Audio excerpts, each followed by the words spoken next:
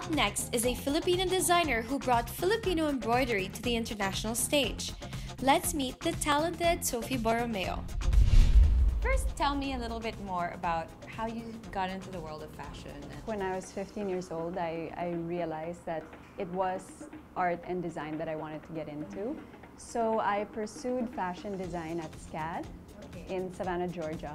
And then I did my master's also in SCAD, but then I chose the Hong Kong campus. I wanted to get to understand the Asian market more. In between studying, I took on a job as a fashion buyer. So it was in 2015, in August, that I decided it was time for me to launch my own label. While custom made fashion is what's more popular with Sofie's target market, she insisted on creating a ready to wear line for a higher purpose. I always had this mission of promoting the Filipino craft and the artisans, but in very contemporary designs, all for global appreciation. So I felt that coming from a very artistic mindset and background, um, ready to wear would be the best platform. Who do you envision wearing these clothes? Well, I don't normally envision a specific person wearing my clothes, but it's more of how I infuse the art of architecture and the Filipino craft and Filipino design elements, but our specialty is in the cut. So a lot of the times when we have our photo shoots, we get a lot of comments like, oh my goodness, your model, she's so skinny, she's so tall, I don't think we'll be able to fit in your clothes. But what adds the thrill in our brand is when people try it and they're like, oh my goodness, I didn't realize that my body type would actually fit such tailored cuts. The brand's tagline, made by Filipino artisans, sums it up.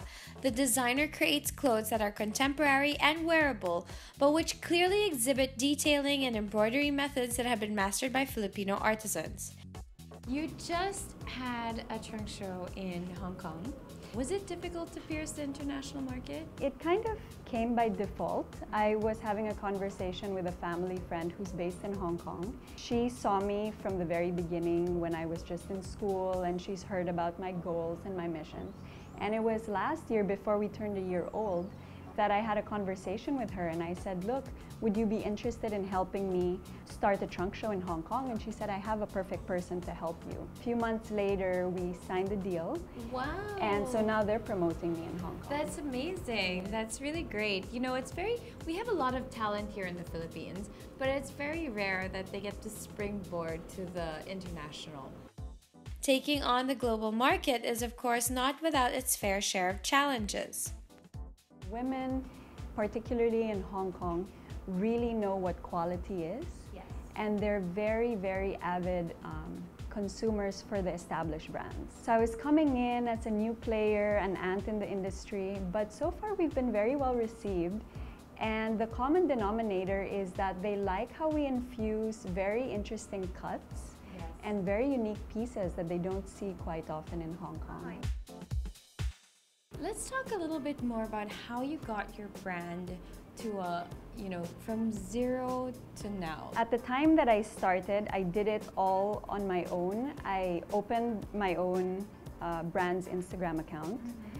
And from there, I started networking with just immediate family and friends. Every two months, we launched a new collection. So every two months, I started noticing that it was all by word of mouth. But what really, really, really worked for me, which I advise my students because I teach on the side, is that it's one thing to have the heart and the determination to achieve your dreams and your goals, but education really plays a very important role. Coming into becoming an entrepreneur takes years of research. You can't just become an entrepreneur overnight because it's a passion.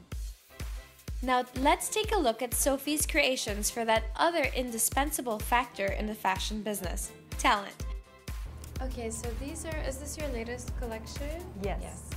Spring Summer. Actually, this is our collaboration with Lanai. So given that what's in trend at the moment is a lot of ruffles, yes, there are many, many ways of infusing the ruffle effect. We did a mix of box pleats and ruffles, very feminine, easy to wear silhouettes. Very, very easy to wear. I love this. We also added a touch of ethnic. Yeah, so nice. So it has a unique overall look. This collection was our first launch into the international scene last. November. So this is a resort collection and everything is hand embroidered by Filipino artisans.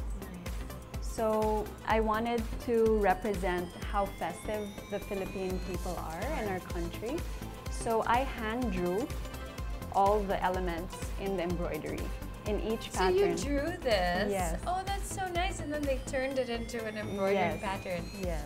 Wow, that's beautiful. That makes it extra special. You know, you see a lot of embroidery, but you know that some of it are just like patchworks or things that they bought and mass produced. But it's nice to know that you actually drew these. That's wonderful.